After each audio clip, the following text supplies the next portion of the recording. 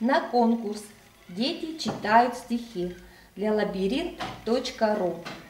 Горшкова Милана, 5 лет, город Пермь, детский сад номер 49, средняя группа.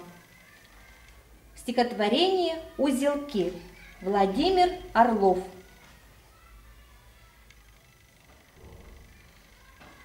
После зимней глубокой дремоты дел немало на шаре земном. Перед праздником столько работы, надо помнить весне обо всем. И весна в изумрудном платочке ходит, бродит в лесах и садах.